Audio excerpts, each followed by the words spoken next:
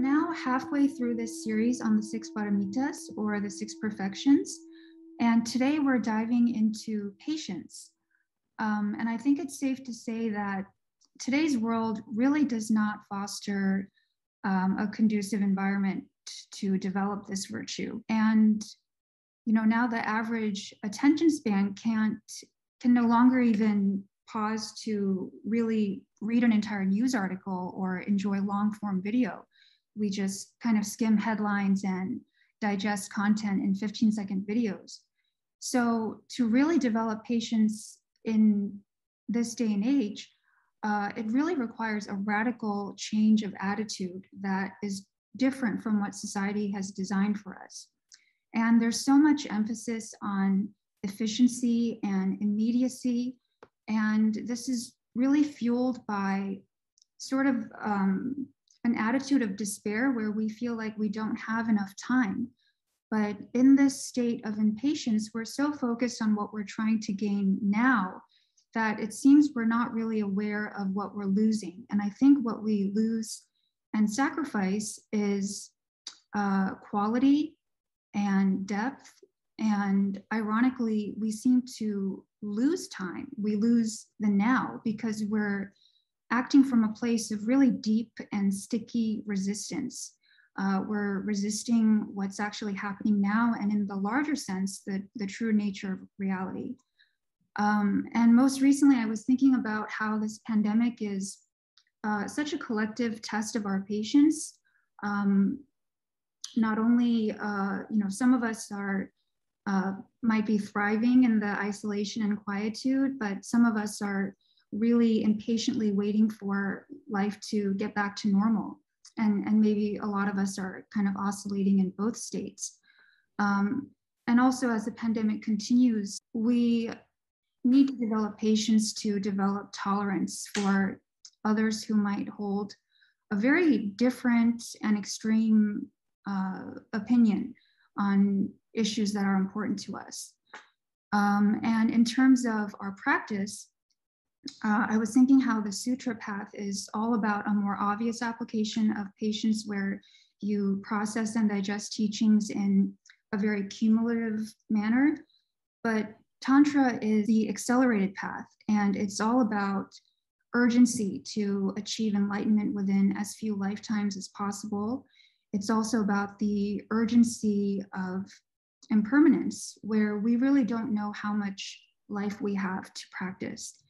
So we're here to ask Phuntsok to um, go more in depth on this virtue and also how we can apply patience to our practice and how we can balance so that we're not uh, using patience as an excuse to you know go into complacency and laziness and also be able to temper the productive energy we need to move forward. Um, so with that Phuntsok please. Ah, beautiful. Thank you. And by the way, the beautiful words in the email that was sent out uh, entirely, that was the Liz's, came from Liz's mind. Onto, onto what? We used to say onto paper, but we don't do say onto paper anymore, onto the screen. All right, oh my goodness, this is so unprecedented. We are on time. okay. All right, so let's not waste the on time that we have. or we begin with a, very simple meditation, a more in the uh, uh, tradition of Mahamudra, or I guess somewhat Dzogchen. I'm not an official practitioner of Dzogchen. That's not, that's not in my lineage. Uh, but I do do practices that are similar to Dzogchen practices you know, uh, we all, every tradition in some sense or another, there's a point where their practices merge. They just have them, they just give them different names, use different vocabulary for them. Okay. And this is uh, Dzogchen, you say Mahamudra, is not trying to change anything. It comes, you meditate with you meditate with a with with an understanding that uh, the aim of meditation is already here. And there are many different kind of approaches you can take. Like for example, from a very obvious kind of approach, the true nature of reality is already in the very reality that you're experiencing. So it is the very reality that you're experiencing that will give you that that has the door to the ultimate nature that we are seeking. So there's no need to put away our experiences so we can have an experience of, of ultimate nature, for example, that we just allow whatever is happening to, to happen, what, what we engage it with a state of mind of there's already the ultimate nature of reality already in this experience that I'm having. In being annoyed, in being bored, in being surprised, in looking in the thoughts that are happening, in the very distraction that may be happening, if we're able to maintain a sort of a, a sense of perspective, it's already in this experience that I'm having right now. So that's the attitude of the, of the you could say that's the sort of summary of the meditation of Mahamudra, Dzogchen, those kinds of high practices. Okay. Right, so we're going to do something, something like that. Okay. So first, have, have a nice communication with your body that you're going to meditate. Allow the intelligence within you that already know what is meditation. It already knows that. What is meditation? Allow it to, oh, okay, we're going to meditate. I know what that is so we don't have to impose on the body, impose on our, on our mind. This is what meditation is, and you're gonna go in there whether you like it or not. Just invite them. You know what meditation is? Let's get there. Let's go there. And the mind says, all right, let's go. And your body's saying, I've been waiting all day. and and your body tells you, okay, how are you gonna meditate? Okay, all right. All right. This is how you sit, sit. Okay, be comfortable in your seat like this. Oh yeah, okay, good, good. Make sure your spine is upright, but don't be uptight. Oh, good, good. Let your arms be loose, like loose rags, but comfortable. Keep making adjustments. That's the intelligence in the body guiding you. Okay, it's not distraction. Until you arrive at uh, an experience in the body where that intelligence says, yeah, that's it. This will help us get into meditation and you just stay there. You try to you try to stay in it.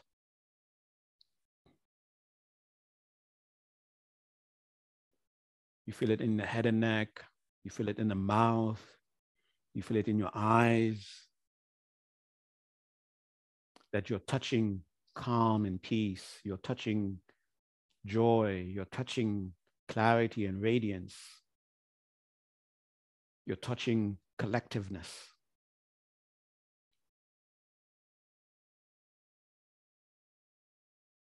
And these very experiences that you're having, experiences coming through your senses, experiences coming through internally, subjectively from your mind, they're all being qualified by being approaching the meditative state.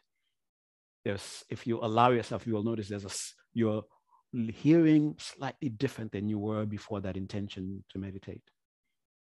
Your thoughts are being experienced slightly different than they were uh, um, before you made that intention. So stay with that understanding, stay with that perspective, and, and continue to allow that state to be.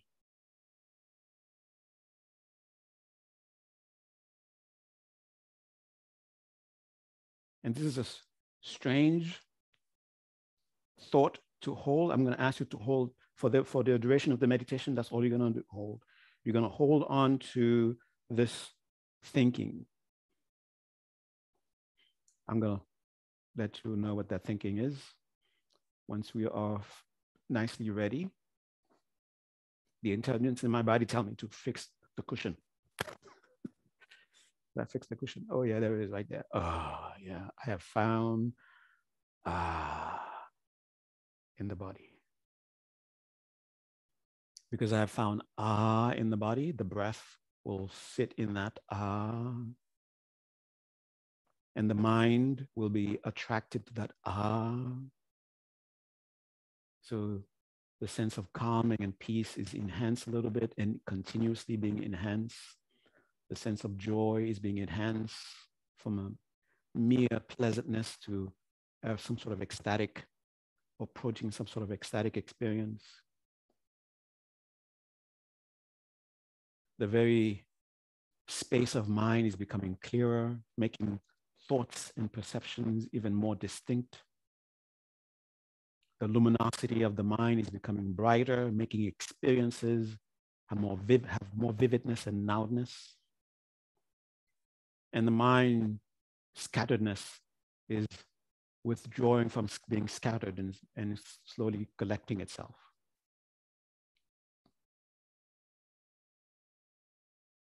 Continue to allow that to take place.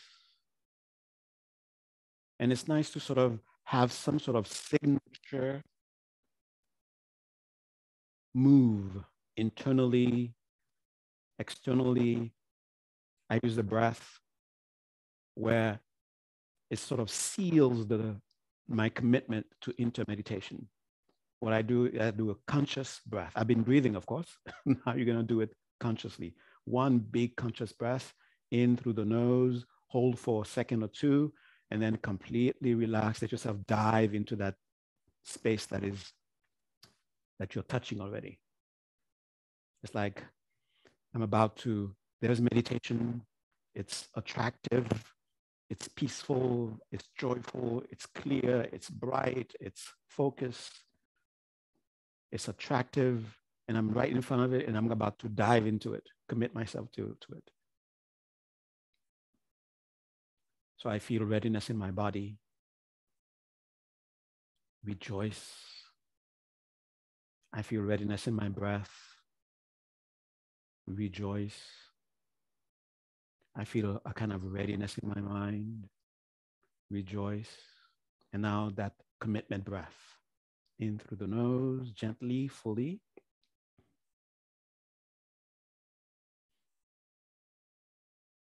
Ah. And let go, let go, let go, let go. As you let go, feel the letting go in the body physically, feel the letting go in the body energetically, feel the letting go mentally, let it go, let go, let go. Feel yourself going deeper into the calm, deeper into that space of pleasantness, deeper into that space of clarity, radiance, focus.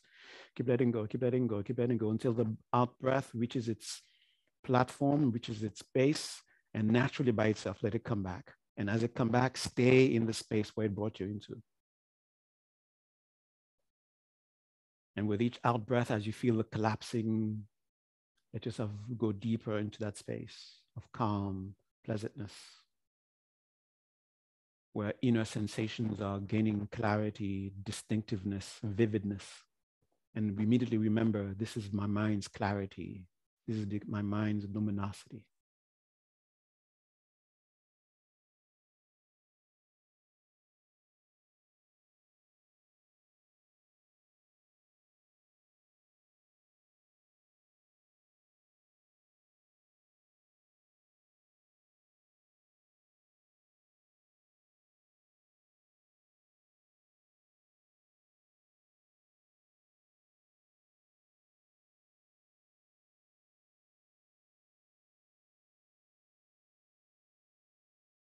And as you continue to breathe, let the breathing be like a stabilizing, cruising sort of effect.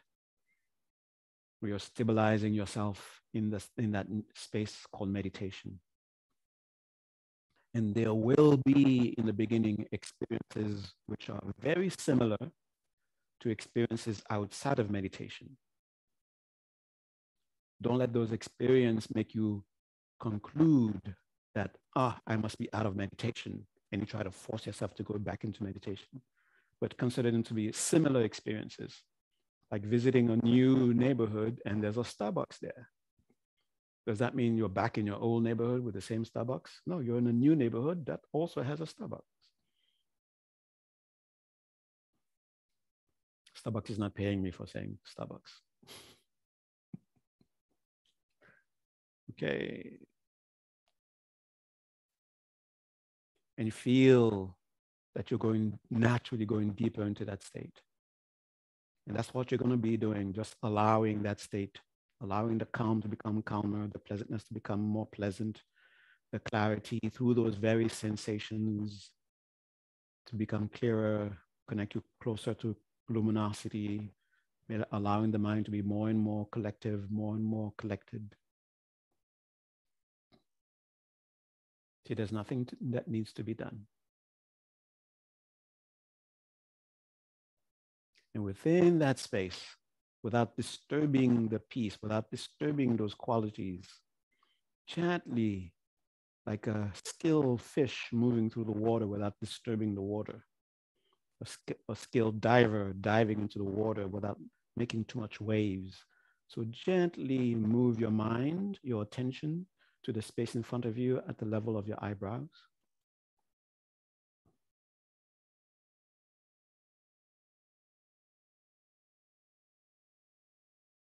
And once your attention there, you begin to feel a sensation in the forehead, maybe. Ascribe to that intent, to that sensation, several things. The natural capacity of the mind to focus, you're experiencing it. What is causing that sensation? The presence of your potential, enlightened potential. In that presence, you can communicate with it, you can relate with it.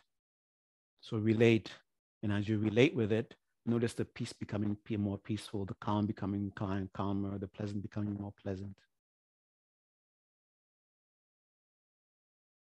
Relate with a sense of having deep respect for it, knowing that this is your own enlightenment and the process of eventually abiding in it, being it. So respect that.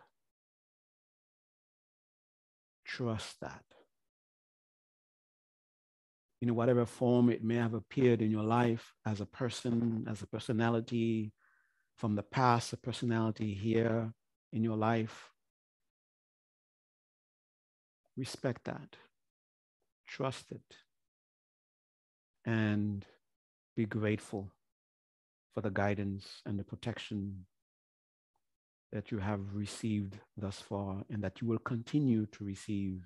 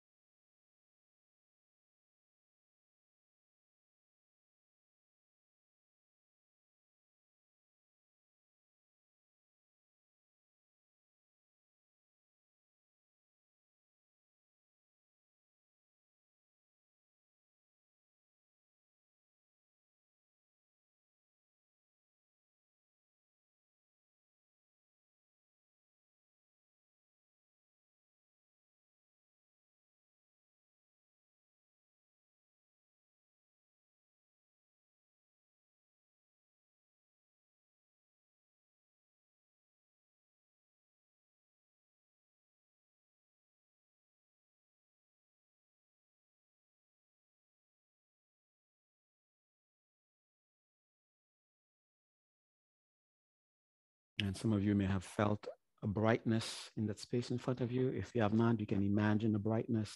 And the brightness is a form taken by your enlightened potential. That form is not your enlightened potential, but a, simply a means of communication.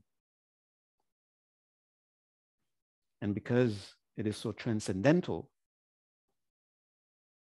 it's like you're with your enlightened potential. So with understanding these two, see how they are not contradictory, then take that presence to the crown of your head with the understanding I'm about to have a direct encounter with my enlightened potential as a guide. And when that light enters your heart, simply let go. And what is that attitude you're going to have? What is the thought you're going to hold?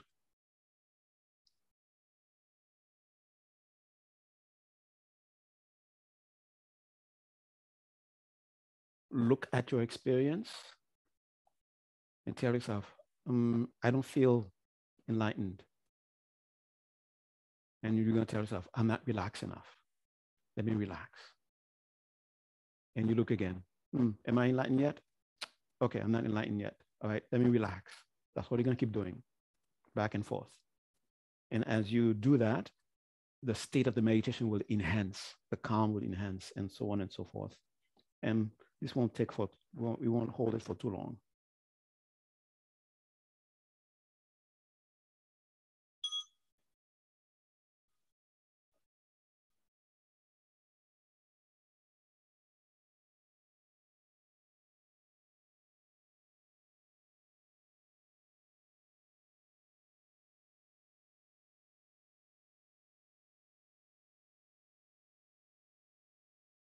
And for those who want who for whom a visual will help you can imagine that the heart in your heart the light in your heart is there's a sense of a distance. And you as you relax you are approaching it closer and closer. You want to eventually be completely become that light. But for some reason when you relax and check am i enlightened and there's that, oh, oh, I'm not. And then you relax. And as you relax, you go deeper. Okay. Now you're on your own.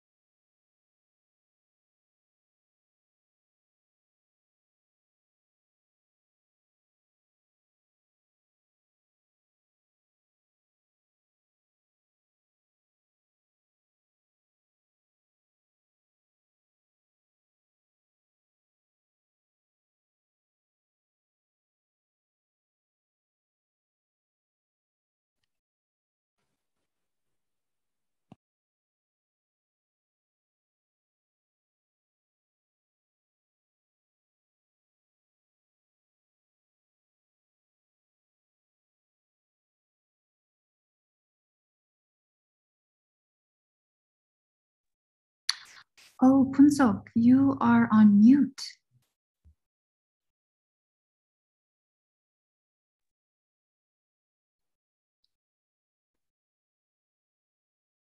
Sorry about that. Just keep relaxing. No matter what arises, have the understanding that every experience is an opportunity to encounter ultimate reality because every experience is arising from ultimate reality. It's arising from this fundamental luminous luminosity.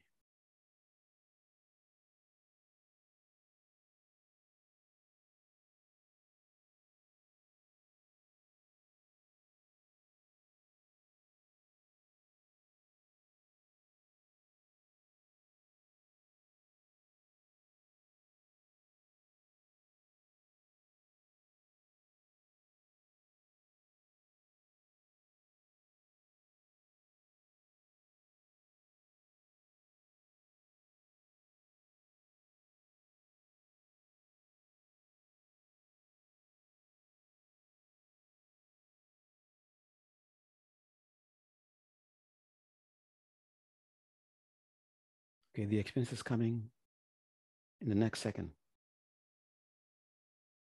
You missed it? Okay, the next second. Did you miss that one too? Okay, just relax. Get ready for the next moment.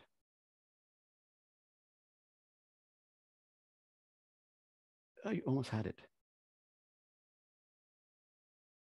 Okay, now relax. Get yourself ready.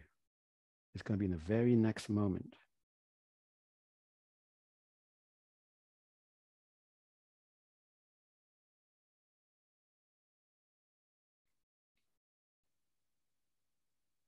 All right, get ready to come out of the meditation.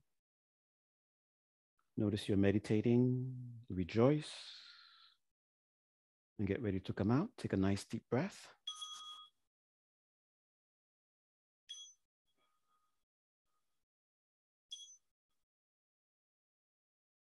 And slowly reconnect with your immediate surroundings, reconnect with your sense of touch, sense of hearing, deliberately, consciously, and sense of sight.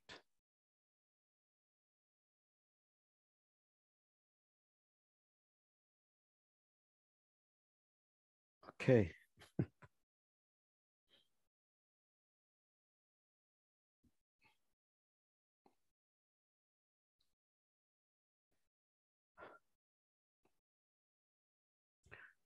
And when it comes to the uh, the perfection of patience,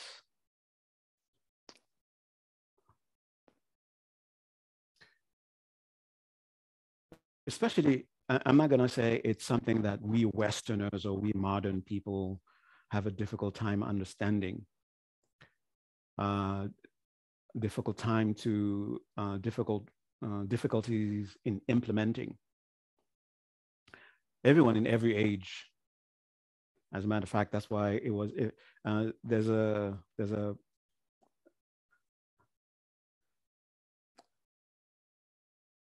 Maharatnakuta Sutra. That's the sutra that I was trying to remember last time. Uh, uh, and it, it, it is translated, some parts of it is translated by this, uh, uh actually the, the person who I think we invited my teacher to come to the United States. Uh, uh, he, uh, with some group of his translators, translated parts of it. I think it's called a Treasury of Mahayana Sutras. I think it's called that. Okay. anyway, in that, where there's a place where the Buddha is talking about, uh, uh, remember, uh, the, the, ethics of a bodhisattva. Yeah? And in there, uh, it's in the chapter called uh, definitive Vinaya. Vinaya is the, is the Sanskrit term that means discipline or the practice of ethics. Okay. So the, the definitive Vinaya. And in there, the Buddha is making contrast between uh, the ethics of ordinary people, the ethics of someone who's uh, seeking personal liberation, and the ethics of a bodhisattva. And in there, uh, I have, I'm gonna read something for, from that. Okay, you're gonna be amazed. And it's a good, it's a good thing that it's I have I, it's not my own words anymore. uh, what you're saying makes no sense. I want the actual source. Here's the source. Okay, this is from the uh, Treasury of Mahayana Sutras. Okay, and uh, this is the chapter where uh, the Buddha is talking about the Buddhist, the ethics of the Bodhisattva. In there, the well-honored one, and uh, the well-honored one is the Buddha, and then his uh, it was questioned by uh, one of his disciples named Upali. Upali asked the Buddha, "Well-honored one, suppose a bodhisattva breaks a precept out of desire, another does so out of hatred, and still another does so out of ignorance. So these are the three poisons, right? Desire, hatred, and ignorance. So if you have three bodhisattvas, three bodhisattvas, not just three ordinary people, now three bodhisattvas, uh, uh, and each one of them uh, uh breaks, does something unethical, does something uh, uh, a bad deed motivated by one of these uh, poisons. So which one is worse? So well honored one, which one of the three offenses is most serious? Listen to the answer. And this is why uh, I keep, uh, with people coming from a misunderstanding about Buddhism, uh, it's not that Buddhism doesn't say desire, there's a problem with desire but people misunderstand what does that mean, right? So people try to avoid all kinds of desire, especially uh, the, the, kind of attachment that we that uh, you have for your spouse, the kind of attachment you feel for your children, you know, for your friends. Am I am I supposed to let go of that kind of attachment? So there's kind of a confusion there, right? Uh, so here is from the sutra, somewhat answering that question. So the well-honored one answered Upali, if while practicing the Mahayana, okay, here's the condition, while practicing the Mahayana, a bodhisattva continues to break precepts out of desire for kalpas as numerous as the sands of the Ganges. Kalpas means eons, ages of planets, okay, ages, okay? In any way you can consider, you will uh, want, want to understand the word kalpa. Some of you already understand that. It's not a Buddhist term, okay? But it means an age, right? Like the age of the Roman Empire, that's gone, okay? That's like a kalpa, okay? Or the age of humans, of dinosaurs, that's like a kalpa, so an age, considered an age, okay? So that's a very long time. Many people are born and die during an age, right? So for kalpas, for ages as numerous as the sands of the Ganges, his offense is still minor. If a bodhisattva breaks precepts out of hatred, even just once, his offense is very serious. Why? Because a bodhisattva who breaks precepts out of desire still whole sentient beings in his embrace. Whereas a bodhisattva who breaks precepts out of hatred forsakes sentient beings altogether.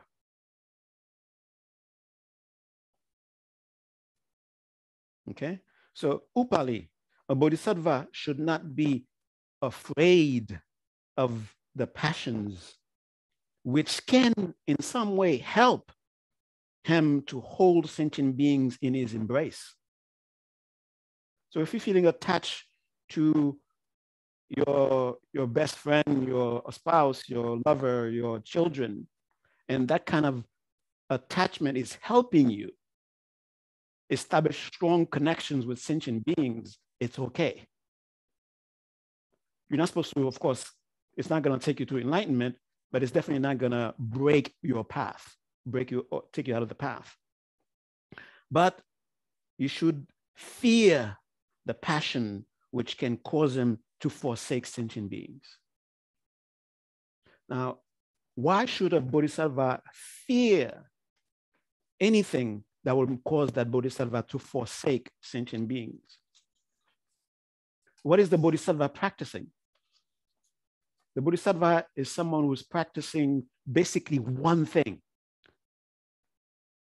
So there are 200 and some 50 something uh, vows if you are a full, if, if you're ordained, if you're in ordination, okay? Some 250. And then if you take uh, tantric um, precepts, there's like, I don't know, like a hundred of them, okay? And if you take bodhisattva vows, there's like, there's the 18 root, there's the 40, the, the, the secondaries, there's a, what you could say there's a bunch of them. okay.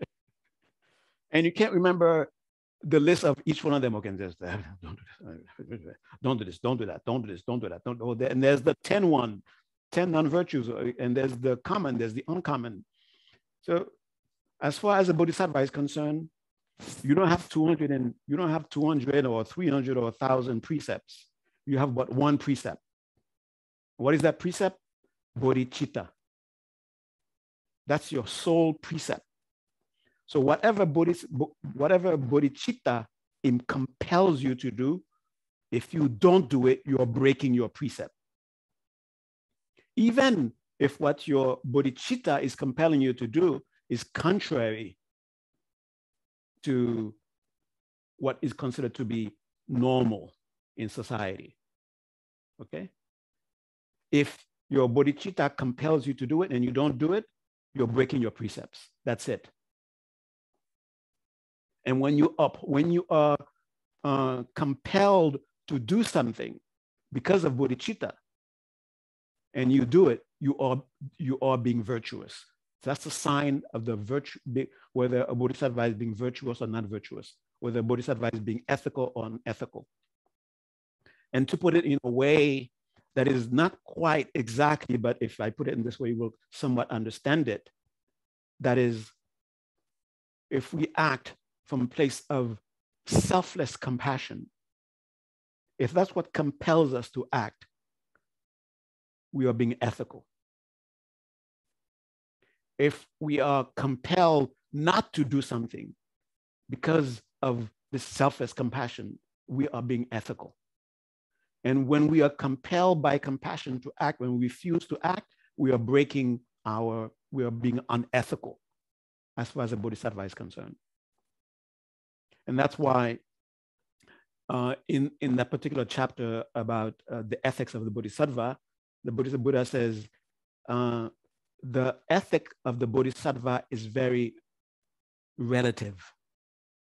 Because in keeping bodhicitta, in keeping, in keeping the, the, uh, the call of compassion, of great compassion with one person, you may be, you may need to do something that you may not need to do with someone else. So it's not just one thing you're supposed to be doing, no matter who you encounter, but rather you're supposed to keep an attitude, no matter what you're doing, with any, anyone you encounter. That's the ethics of the Bodhisattva. And when keep, keeping this in mind, so since the only practice that the Bodhisattva is doing is bodhicitta, what you say should be informed by bodhicitta. What you think about, what you allow your mind to ponder on, to entertain, should be in, uh, imbued, influenced by bodhicitta.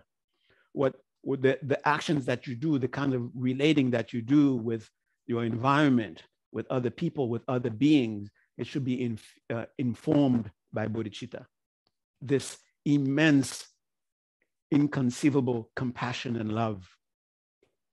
That's the relative aspect. And then the umbrella of that is an understanding of reality. Some kind of understanding of reality, at least that the separation that I'm experiencing is an illusion. The separation that I'm experiencing between me and others, that's, a, that's an illusion. At least have that kind of state of mind in your, in your head, okay? Now, when you have that as the, your practice, then the six perfections, the six paramitas, become simply different ways of implementing bodhicitta. When you understand that, then you, you can understand from the perspective of bodhicitta, what is patience, which is the third paramita that we are, uh, uh, we are on right now. And if you're an actual bodhi, bodhi, bodhisattva and you've reached what is referred to as the path of seeing, you've seen the true nature, you've had a direct encounter, direct experience of the true nature of reality. That is, you did the meditation I, I told you to do a moment ago. You kept relaxing, kept relaxing. You allowed the true nature of reality to just, ah, see, I was already, I was always here. Okay? You, you didn't have to rub two sticks together and then boof, the nature of reality is made manifest. I was already here. You just had to relax. And eventually, in, in relax, relax, relax, and whatever is appearing, you say, Oh, I see directly the true nature, the luminous ground out of which this experience is emerging. Oh, that sounds cute, doesn't it? The luminous ground out of which this experience is emerging, the luminous ground out of the empty, non conceptual, luminous ground out of which this anger is arising, this luminous, the luminous ground out of which this boredom is arising, this luminous ground out of which my anxiety is arising. That is, you're not pushing your anxiety away, you're not pushing your anger away, but you're allowing it to show it. What are, what is what is the power of reality that is allow that is making you real a real experience? And you're able to have that direct experience with that undertone with that found with, with that fundamental with that luminous ground. Then as a bodhisattva that entering into that entering into that experience with a mind imbued already with great compassion. The reason i want to encounter make this encounter is because i care deeply for all beings and i want to help them in the ultimate way that i can help. With that state of mind you enter into that in, into that uh, field then when you emerge out of it then you you're then you're you're an arya bodhis, bodhis, you're an Arya Bodhisattva, meaning now you're grown up. you're no longer a little kid. You're no longer a child as, as far as uh, uh, uh, beings are concerned. You're no longer a child, a childish being. Now you're a mature being. You're a teenager, but just turned 18, but you're now mature. Now you can take start taking greater and greater responsibility. Okay at the first level, what you perfect is generosity. Why do you perfect generosity? Because you've seen directly that separation, ownership is, a, is, a, is, a, is an illusion. There's really no being depriving yourself of anything and then making someone else the owner of it. That doesn't ultimately exist. So giving and generosity becomes for you. It doesn't bother you. It, it, it, it, it's not a sacrifice for you anymore. And because you've mastered that, that is, you have mastered that the illusion of separation is an illusion, and you're closing the gap of this, of this, of doing away with this illusion, then ethics becomes a for you. Now, your compassion is compelling you to act your understanding of nature of reality is compelling you to act. Whatever you do is in line with the nature of reality. Whatever you do is in line with, with what is beneficial for others. Even though on the appearance of it, it may seem to be uh, even in uh, in there, there's a passage where the Buddha said, uh,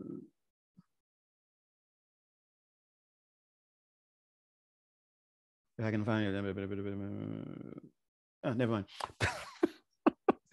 I'll paraphrase this time. Uh, what the Buddha said says that um, uh, you practice patience so perfectly that you become skillful as to ah this is the time when this will be effective then I will apply because it will be beneficial. It will help others get closer to their true nature, help others get closer to liberation, help others get closer to being free from nonsense pain, pain, pain that doesn't have to exist, suffering that doesn't need to exist because of the nature of things and the nature of reality, because of the true nature of reality. And also, here it is, you also know when is the time to admonish someone? When is the time to be uh, harsh and wrathful with someone? And you're not being harsh and wrathful because you're angry, you lost your mind, but you see it as this is a skillful way to actually help this person. Like a parent disciplining their child out of love for the child, not because they can't stand the child and they want the child to suffer, but rather out of motivated by the concern for the child's welfare. And they see this is a skillful way to help the child better.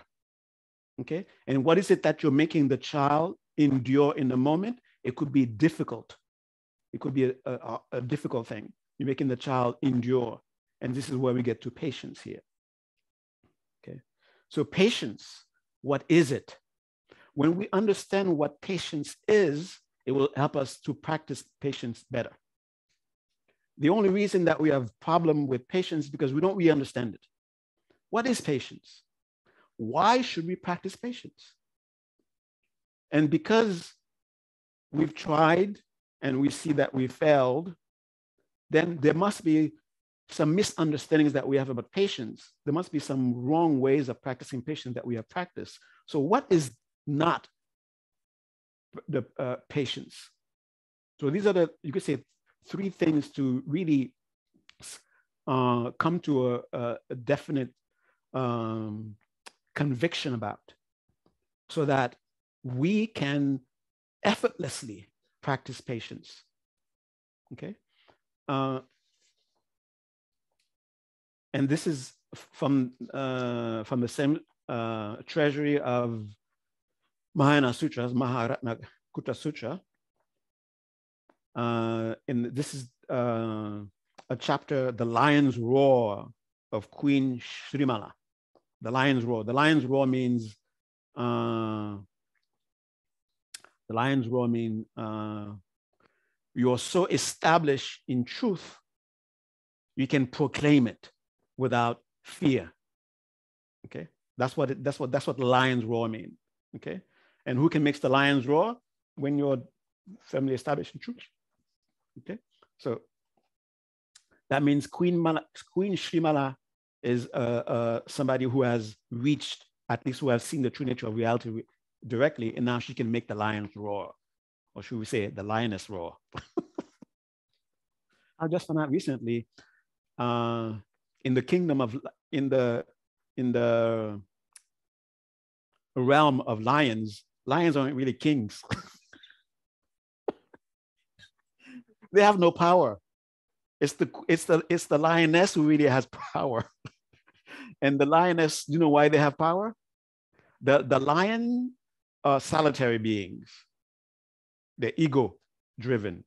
The lioness are group driven.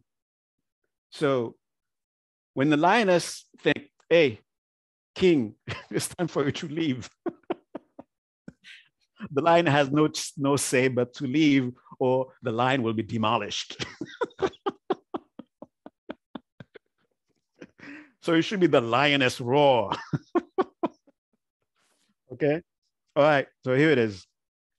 This is the Buddha describing, okay, what is the what is the practice of the perfection of patience? Now listen carefully. Let me put on my glasses so I can so you can so I can read it properly. Where did you go? Where, where'd you go? For those sentient beings who can best be matured by patience. Let's stop there at that, at that phrase. Why is the Bodhisattva practicing patience? Not for the Bodhisattva, but because it is a means to help others. Okay? You practice patience because it is a means to help others. Okay? So for those sentient beings who can best be matured by patience, who are those, who are those beings who, who who, can do that? Who, who, the Bodhisattva of embrace the true Dharma.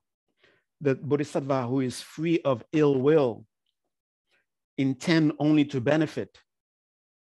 What, what, what do they do? They bear rebukes, scoldings, insults, outrage, slander, libel, annoyance, and harassment with the utmost patience, even without their faces changing color in the slightest. In this way, they bring those sentient beings to maturity in accordance with their inclinations, to establish them firmly in the true Dharma. What is, about, what, is about what does it mean by the true Dharma? Whatever it is that will really help you get out of suffering. That's true Dharma. True Dharma is not because it is written in some text that the people who call themselves Buddhists are calling Dharma is true Dharma. That's not what, that's not what makes up something true Dharma, okay? As a matter of fact, Pabongka Rinpoche recently in the 19th century saw some books that said they were true Dharma. I said, oh, according to my according to my according to my own reasoning, this thing calling itself true Dharma is no true Dharma, just because it calls itself true Dharma. Okay. And I uh, I think I remember uh, reading this back in back in ancient India, and this is for those of you who are trying to hold uphold the precepts. Do not this do not have any respect for the slightest writing on a piece of paper, or you will be destroying the Dharma.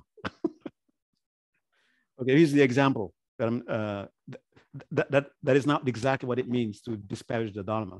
Okay. When the thing is something that actually will help others get rid of their suffering, and you are mistreating it, that is uh, disparaging the Dharma. It's not just because it's written on a piece of paper, therefore it's something sacred. Okay. And here's the example. And this was in Pabongka Rinpoche Liberation in the, uh, in the Palm of Our Hands, when he was giving a story, uh, maybe him, maybe someone else, but anyway, it's, it's from the Lamrim teaching, uh, where ancient, in ancient India, scholars, great scholars, that is people who were steeped into uh, these are the these are the accepted words of the Buddha, and we are writing them. When someone writes a commentary, okay, someone writes a commentary to explain the words of the Buddha. That means the words of the Buddha are already in that commentary, right? So the words coming from the sutra are in that commentary. That's what the commentary is about. But because that person misunderstood what, what, what was written in, this in, in what, what, what was written and is and in their misunderstanding will be mislead others. How did they, what did they, what did they do with that book with that text? To show that sorry we, we, you can't publish this. They tied the book to the tail of a dog and have it run in the town. Talk about disrespecting a book now you're telling me these great scholars were so stupid they didn't know that they were disparaging the dharma words of the buddha were in those texts and yet they say oh you're misleading people this is not true dharma to prove to you that it's not true Dharma, I'm gonna have a dog drag it around behind its on its tail. Okay. What am I talking about that? Never mind. true Dharma. Okay. To establish them firmly in true Dharma, this is called the paramita of patience. Probably my story now about the dog with the tail and the and the books tied to its tail. Probably forgot. What was he talking about again? the perfection of patience. Okay, I mean, there's so much to say. Now let's, I'm not gonna go into, uh, okay, this kind of patient, the, that kind of patients, the, this one has five subcategories and this five subcategory has 10 subcategories. And then you end up, what was he talking about? I'm supposed to practice patience. I don't know what he's talking about. Okay, but this is it. What is patience? Why should you practice it? And what is not patience?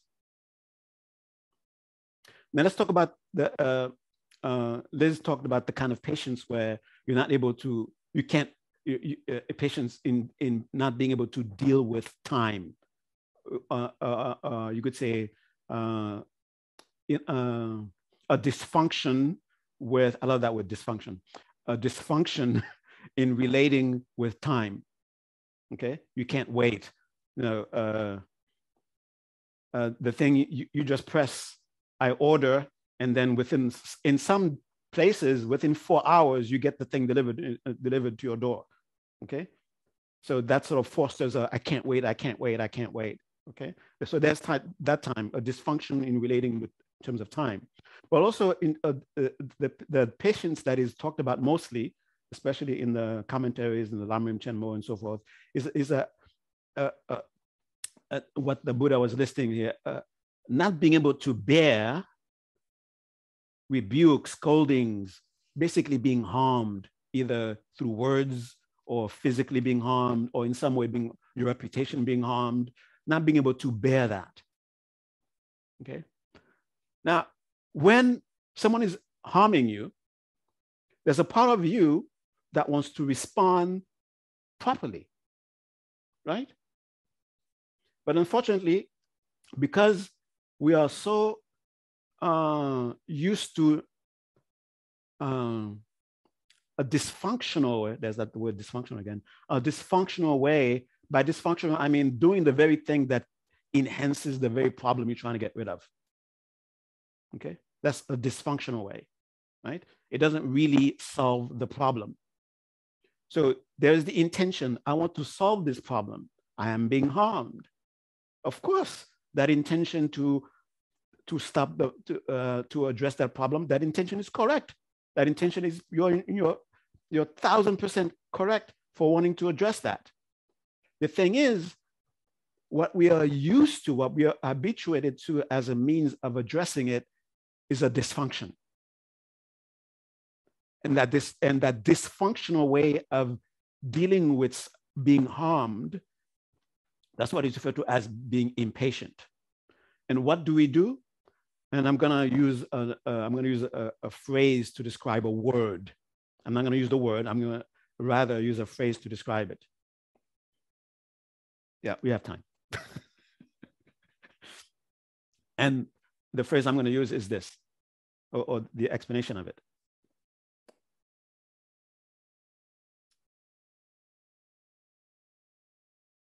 A misguided attempt to get rid of what we perceive as the cause of pain, the cause of suffering. A misguided attempt at addressing or getting rid of what we perceive to be the cause of suffering. That's how we usually respond when we are being harmed. That's how we are habituated to respond. And that phrase is what we usually call anger. And the reason that I, I don't want to use the word anger, but rather describe it that way. So anger understood this way. But when we just use the word anger, within the anger, there is there are two things in there. There's the intention to address something, right? there's a harm being done, there's suffering being perpetrated, and we want to respond to it. There's nothing wrong with that. Okay? And then we feel this energy is bubbling up within us. Hey, respond to this. There's harm being done. Okay? But because we are have been we are so used to being misguided to misunderstanding we take that intention we give it to our ignorance we say ignorance take care of this and usually, what we call anger, that's what we see. We see this, this wanting to respond. And the way we see it, we see anger. So, because anger is mostly associated with this dysfunctional way of trying to respond, so the term anger sort of uh, uh, sort of become the all-encompassing way of, of uh, dysfunctionally responding to being harmed. Okay. But if as you are practicing, you may come to know that in that anger, without the dysfunction, there's this attempt to address something, address a misjust, uh, uh, injustice, address uh, an attempt, uh, uh, uh, someone who's in the in the process of harming. Okay, there's nothing wrong with that. That's where we get confused because we confuse those two things as one and the same. So when we hear stop being angry, it shouldn't be do not address this problem, but rather don't do not allow this dysfunctional way of addressing your problem to continue. But address your problem in a way that actually helps get rid of the problem. Okay? So when ang- when the word anger is more on that line, then anger is needed. When when when this because what anger calls from us is there's the there is the thing that is causing suffering. If that is true then the intention of anger to destroy it to get rid of it is true. But because ignorance is guiding us it's pointing in the wrong direction so we are directing destructive power in the wrong direction. Because we are directing power in the wrong direction, we don't get rid of the problem. We only make the problem worse. Okay? So impatience is continuing allowing a dysfunctional way to respond to continue. Patience is beginning with a recognition. Ah, most of my life, at least this life, I don't know about many lives, maybe I'm not sure about this many life things, but at least in this life, as long as I remember, I've not really been able to get rid of my problems because my problem keeps coming up. So I must, the way that I'm used to dealing with problems, there must be something wrong with it. There must, at least there's some, there's something unskillful about it. That is, it is not really getting to what it's, it's promising. Okay. So not allowing, not permitting this dysfunctional way of responding to continue, that's practicing patience. So basically, we are so eh, used to the momentum, what we call, I'll just call it dysfunctional anger. Okay, let's call it that way dysfunctional anger we are so used to the momentum of dysfunctional anger to come up. Okay, I'll take care of it for you. Uh, just, just sit back. I'll take care of it for you. Okay. We are so used to that that it's so automatic. At first, the way, when we practice patience, what we have to do is to hold ourselves back. And when we are holding ourselves back, and this is what and uh, we may see ourselves doing. Wait a minute. Then we draw this messed up conclusion. Patience is allowing evil to continue. Patience is tolerating evil. Then we come up with these very strange things. Don't be patient with this, be patient with that. Don't be compassionate to this, but you can be compassionate to that. These very strange conclusions that we draw because we completely misunderstand what patience is supposed to be. It is holding back the dysfunctional habit energy that throws, that, that only makes things worse. It's holding back. Okay? Now, what about the evil that is happening? Are we supposed to allow that to continue? Is that practicing patience? The person that is scolding, rebuking, and all these kinds of things, slandering you, you're supposed to let them continue to do that? Is that what patience mean? Patience mean when someone is harming you, don't be stupid. Don't continue to be stupid. That is, don't, don't, don't. Uh, there's a real situation taking place here. You're being slandered, yeah. You're being harmed, yes. And you and and this is something that has to be taken care of in a real way. Don't let ignorance come in and mess things up. Take care of it in the way that will really take care of it. And how are you going to be? Uh, what will be? What will help you? Bodhicitta, compassion, a sense of understanding. At least separation is a delusion. Even though I haven't, I don't see anything beyond that. All I'm seeing is the separation, but at least I'm I'm not fully buying into it, at least at the at the at least at the intellectual level. Okay? You connect with your compassion. The person who is harming you, make yourself have compassion for them. That person is completely deluded. They've completely bought into this ignorant idea that we are separate. You are harming me, therefore I must stop you from harming me. I'm going to harm you first before you before you do something to me. That person has completely bought into that into that ignorance. Now, why are we going to just jump into the mud with them? Why jump into the mud with them? They're in a quicksand. They're they're they're they're, they're, they're uh, drowning. We jump into the quicksand with them. Let's drown together. Ignorance, got, ignorance has gotten them already. They're complete slave to ignorance. That's why they're harming you. They actually believe that there, there you are and I can harm you and, and, and that's it. So they're bought into the lie. They're slave to ignorance. So do not let ignorance now come and take you into it also.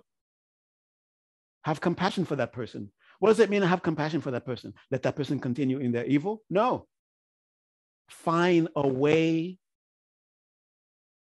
to skillfully make them stop. And what will be that skillful way? Compassion will, will guide you. Compassion will look at that person. Okay, according to what I perceive here, according to what I, what that person propensities are, I should slap this person. And that person receiving that slap, that slap because of that person who that person, and you're not slapping the person because ignorance is telling you, but because wisdom is telling you. Because that slap will have that person, whoa, I was being stupid. I was completely taken over by ignorance. Thank you very much for slapping me. And for someone else, just ignore them. That's maybe that's what compassion, maybe that's what uh, wisdom is telling you to do, is guiding you to do. Then you ignore them.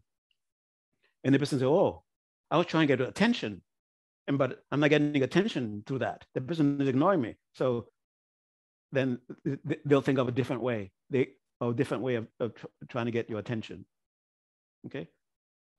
So let your compassion, let your under, whatever measure of wisdom you have, let it guide you as to what is what is the way of of relating to there's something here that I must attend to. Okay?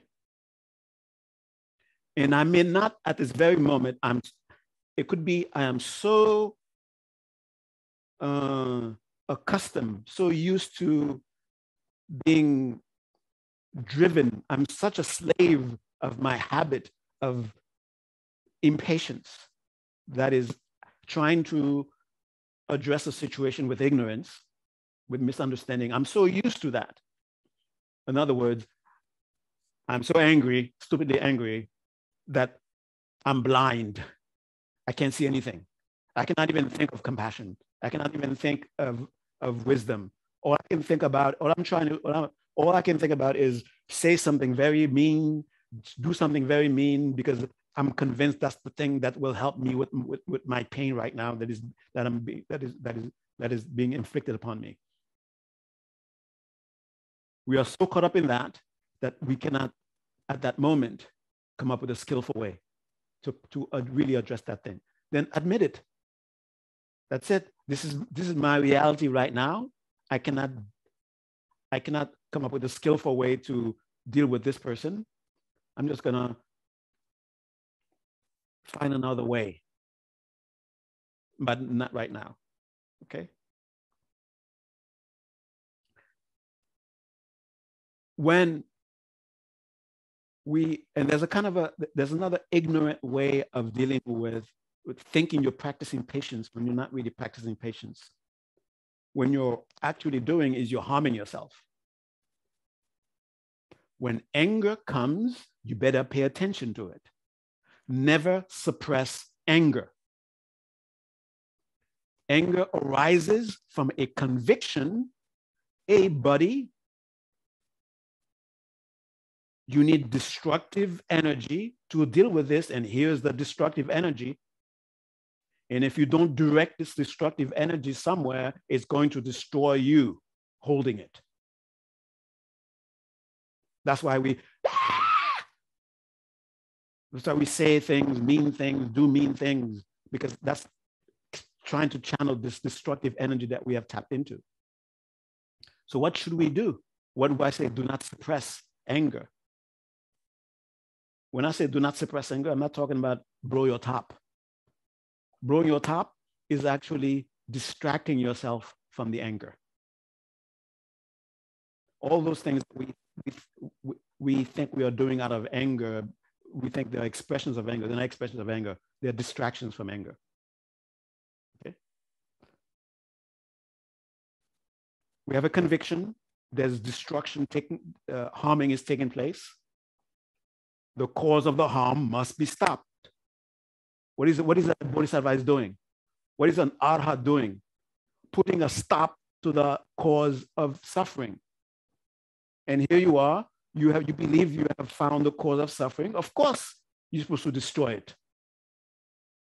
But ignorance give you that information. Ignorance told you this is the cause of your suffering. So if you direct that destructive energy towards a wrong cause, then you're just putting yourself into more trouble. Okay? So, what do I mean? Do not suppress anger. Have a conversation with your anger. What is really going on? Why are you calling upon this destructive, destructive energy? What in you is convinced? What are you seeing that is a trigger? What are you seeing that is giving you conviction? A, your destruction is about to happen. Do something about it. Destroy the cause that is going to that is destroying you. Get rid of it. What, then, since it is a perception that the cause of my suffering is right here, and if that perception is wrong, if I can show myself oh, this is not the this is not the cause of my destruction. This is not the cause of my suffering. Then whatever it is within us that called upon the destructive power to deal with it, it it's oh, all right. I thought my bad. I'll take it back. right? I mean, you're engaged in an argument with someone and you're getting all upset because you heard the person say something that person didn't say, but you're convinced the person said it. And then when the paper, con- when, the, when the person convinces you, no, I didn't say that. What happens to that anger? Oh, sorry, I thought uh, that's what you said. And it, that means whatever within us that thought, A, the cause of your suffering is right there.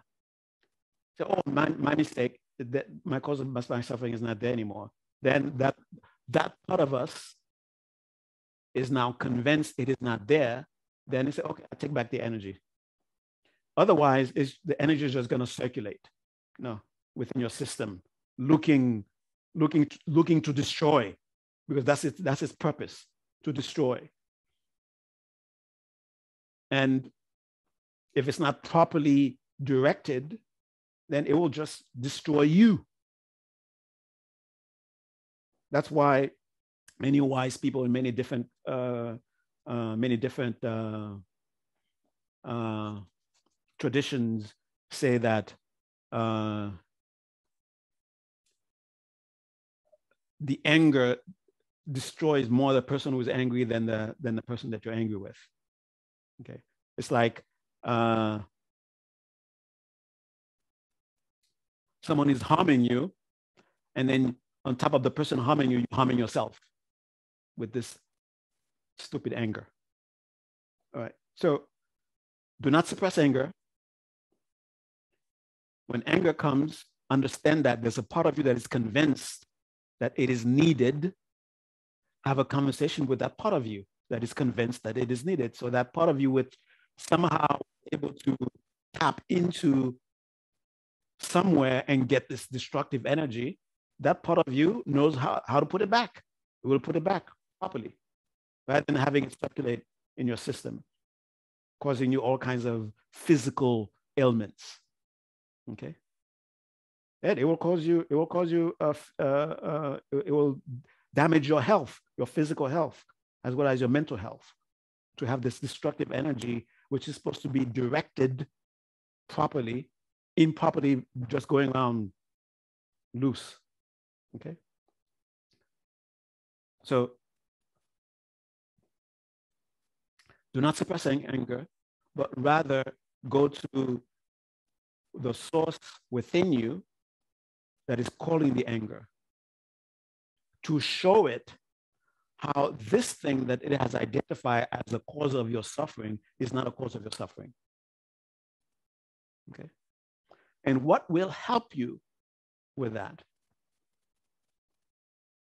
is at least understand when we are holding anger with ignorance, there's the conviction, there's a spirit out there that when it is making contact with me here, it is causing me here to be diminished.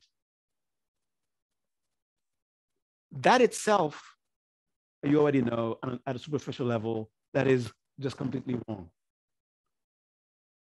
It's a delusion. A delusion is causing us to act, to call upon a destructive power. When wisdom and this destructive power is not something that uh, should never be tapped into.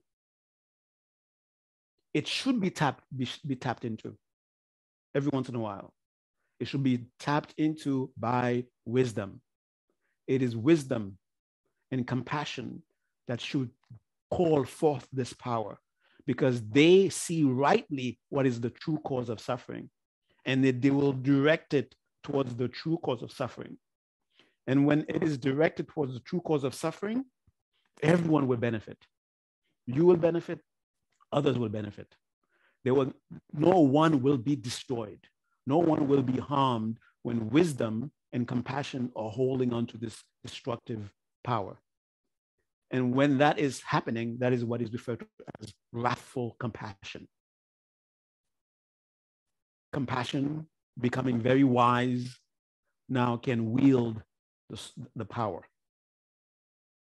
Now, don't be egotistic, thinking, ooh, that's a nice sword you got there, uh, wrathful compassion. Let me play with that. you know what I mean? Your ego is going around. Ah, that's misjustice. Let me destroy you.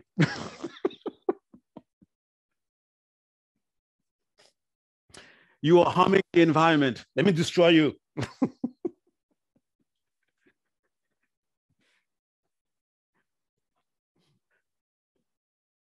You're raising my taxes.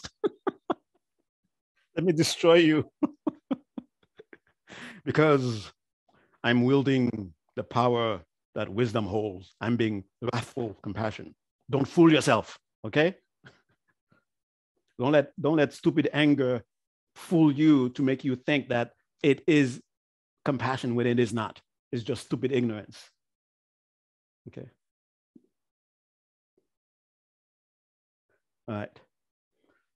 So I'm trying very much to speak about uh, patience in a way that is that you can begin to at least appreciate what patience is. And you will have to revisit with yourself what is patience anyway? and try to come up with a way that makes that it makes sense, where it doesn't end up being uh, allowing evil to go rampant. That's not what patience is. As a matter of fact, as a bodhisattva, you allow evil to continue, you are being unethical. If you don't stop someone who is harming themselves and, and especially who's harming others, you're being unethical. What is the aim of the Bodhisattva? To make sure everyone becomes free. And here's someone who is entangling themselves further into samsara. The very existence of your being as being a bodhisattva is to help them. And here they are going deeper into samsara and you're allowing it.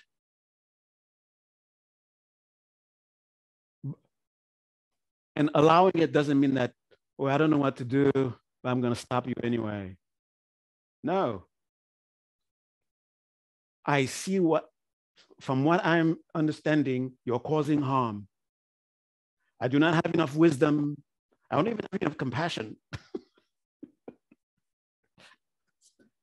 to, be, to know what is the skillful thing to do.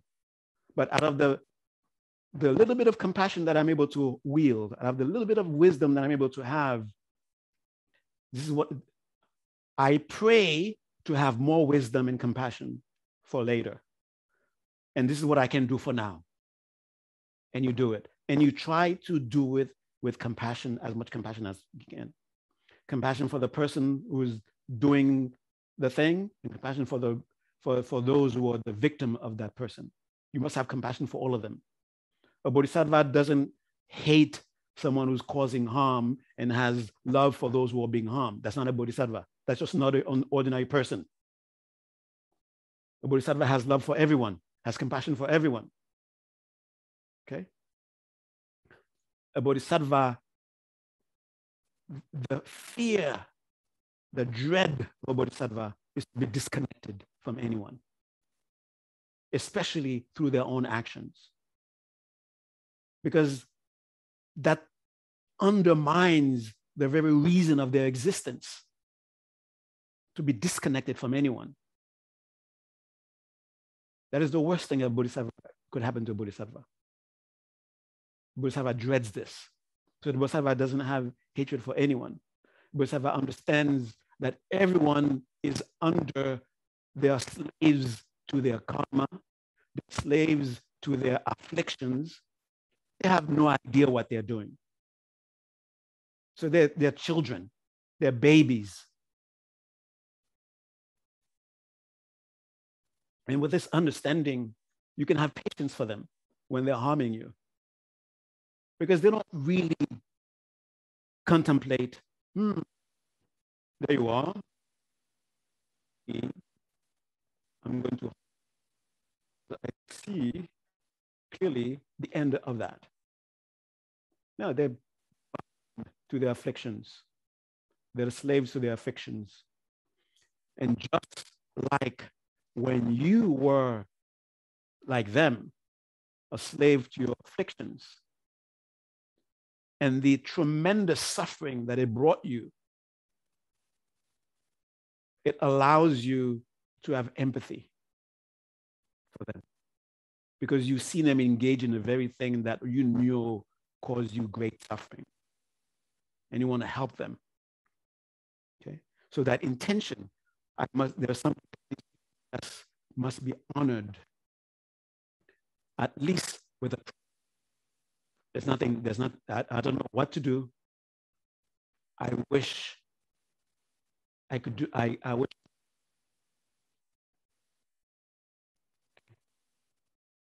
Yes, it's time. I know. I it's it's just that um, your mic is very staticky at times, so uh, we missed a few words here and there, which is very uh, unfortunate. Oh, sorry. Yeah. It's scratching, maybe. It's not scratchy, just static. Okay. All right. Um, and it is time um,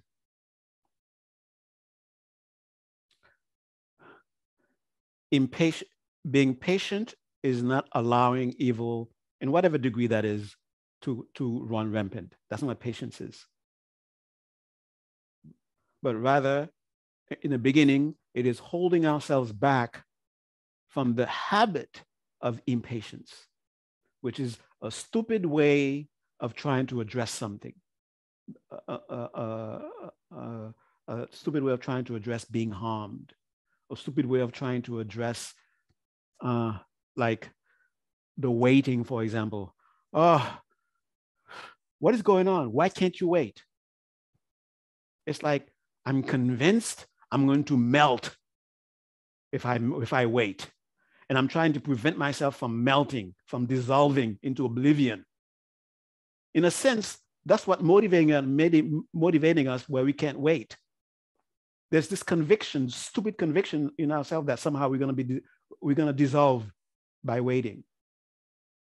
Uh, if I don't get that, uh, if I don't get that uh, rubber ball, rubber ducky in uh, by tomorrow, my entire existence will have no meaning.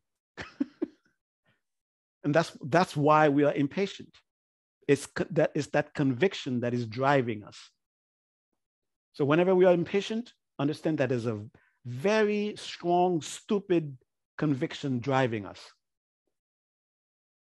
Okay. And we are when we are practicing patience, deliberately have the wish, I want to address this problem in a way that is really addressing this problem. Not just some stupid way that I've been doing in the past, not, not some band-aid way of taking care of it. I want to really address this and connect with your compassion, connect with your whatever measure of wisdom that you have. Uh, and to really go into this in a way where we really cover each one of them. Of course, each one probably would take like six classes for each perfection, right? But I'll summarize it with this from Ratna, the Maharatnakuta Sutra. I say, it is superb to be patient, but patient is apart from views that is, patient does not inherently exist for those of you who are close, close to that. And by nature does not arise. That is, by nature does not inherently arise. There is really nothing to cause anger. What does that mean? Remember, the stupid anger, it comes up because it believes there is separate self there is separate, there is inherent existence. So what is saying that there is really no such thing, which is really the cause of stupid anger. To realize that, that is supreme patience. Okay. So when you really understand reality, that very understanding of reality will make you patient because whatever you do will be in alignment with the true nature of reality. How to be patient? Be real with what's going on. Remember what's being real what's going on means. I'm angry. Anger is real. Deal with it in a way that is that, that with what really called the anger in the first place. I want to deal with this situation. I want to deal with this problem. So deal with it in a way that is really dealing with it, not, not in a way that is distracting us from it, yelling, saying meanful, mean things. All that is just distracting ourselves from the real problem. Okay. And lastly, forbearance, courage. These are synonyms of the, the paramita of patience. Uh, oh, and this is the very last thing I really wanted to say.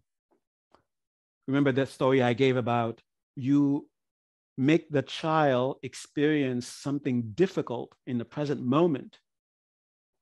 So training the child to bear difficulties that will eventually, by this bearing this difficulty, will reap a, a, a, something beneficial later. So when you are suffering, when you're able to in, endure it, not letting the evil go, okay? Now you're in pain, and there's nothing you can do right here, right now to get rid of the pain, whether it's physical pain, mental pain, whatever pain. Endure it. That very enduring it will give you the strength that you need. And this is why, because you are a bodhisattva in training, you need tremendous power and strength. It is the practice of patience that will lead you to eventually arrive at this tremendous power. Okay? And eventually, you will get rid of the stupid tendency to experience pain. And you being patient will not even be a, a, a term anymore. It will just be your nature because there's no enduring anything. You're just living that nature. Okay, that's it. Bye. uh, anybody has a, any questions? I hope I covered enough to make you be able to go home and practice. And sorry about this thing. I'm going to get rid of it. I have another mic. Just got it. Don't know how to plug it in, so that's why I'm using this one. okay. Uh, uh, my intention in, in talking about the is to talk about them in a way that makes you feel they are things that you can actually apply not just some very nice theory that sounds nice on paper. And when you actually try to apply this nice theory in your life, it doesn't seem to make sense. It makes sense, makes sense in some situations, but it doesn't make sense in other situations. And an evil for you to avoid. Someone is doing something to harm you, they're harming themselves, and you're practicing patience, allowing them to continue in this very bad habit, you're being a very bad bodhisattva. Yeah, that's not patience. That's just being coward. And I'm a victim, and I'm a, and I know that very well. I don't want to hurt their feelings.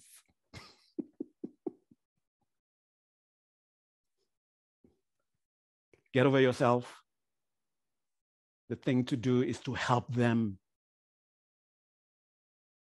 and be uncomfortable, bear the discomfort of stopping them, holding compassion in your heart. Okay, let's meditate.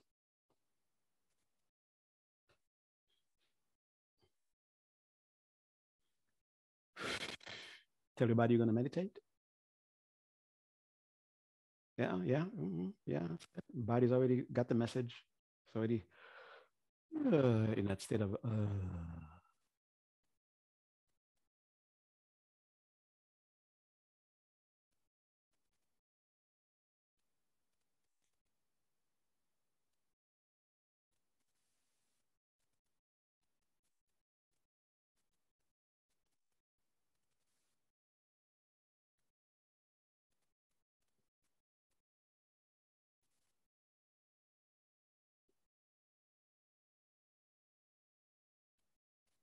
Take a nice deep breath.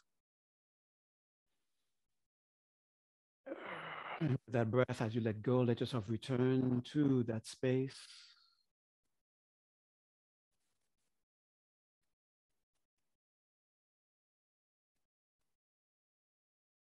Begin to re-experience, re-experience the calm, the pleasantness, the clarity, the radiance, the focus in your body, in your breath, and your mind. Rejoice. Think of yourself. Understand that it is a composite of many things which are not me that we're calling me. I'm not my finger, but my finger, I need my finger to be me. I'm not my legs, but my legs need, I need my I need legs to be me. So in the same way, the right hand will help the left hand because it is me helping myself.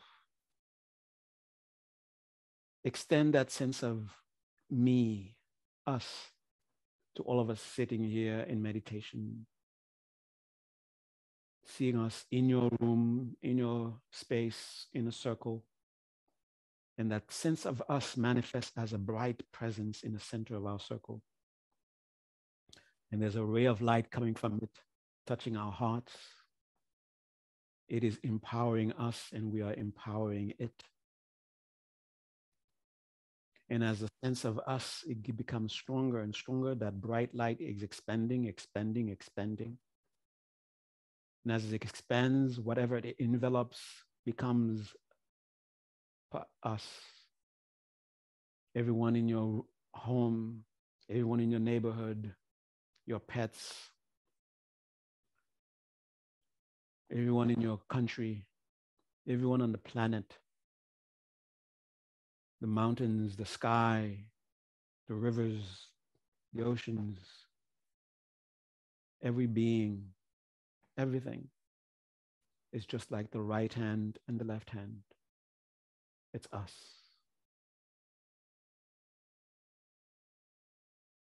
So there's no Republicans, no Democrats, it's us. No liberals, no conservatives, it's us.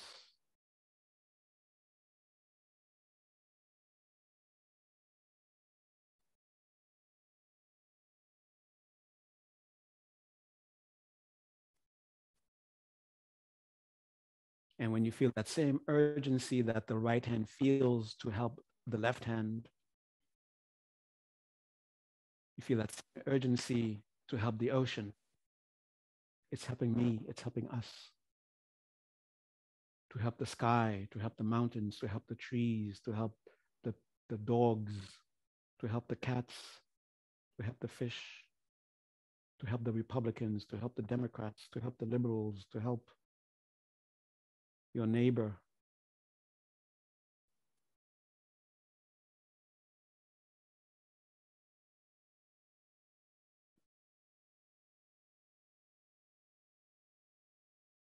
Now that vision has impressed our mind, we no longer need the vision of a bright light engulfing the entire world. Because it's not the bright light that made it so. It was just a way for us to see something that was already there. So the bright light begins to shrink in size. And as it shrinks, whatever it touched it leaves with a shimmer of light, a brightness. It comes back again to our very center. And as it stays there in our very center with the line of light connecting our hearts to it, now it dissolves completely into the light connected to our hearts, into, our, into us. And we have that conviction. By helping me, I help us. By helping us, I help me.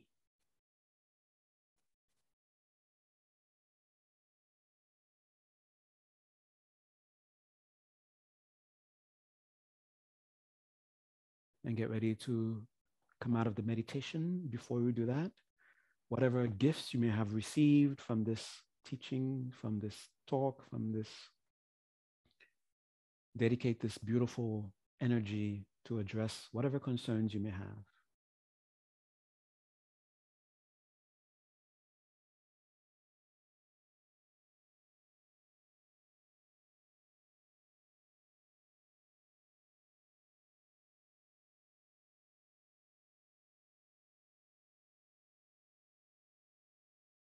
And let's make a dedication for greater sentient beings. Gyawadi Kyoken Sunam Yeshe Tsodzom Shin Sunam Yeshel Chungwe Tamba Gunye Topar Sho.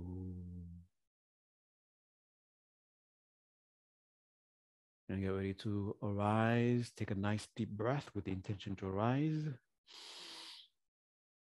Ah. And deliberately, consciously reconnect with immediate surroundings through your sense of touch, sense of hearing, sense of sight. Deliberately, consciously engaging. Ah, that's those are colors. Those are shapes. That's light. That's shadow. Okay. Thank you, everyone. Have a wonderful rest of your evening. Thank you so much, Phuntsok. Thank you so much, everyone, for joining the live session here and those tuning into the recordings wherever you are.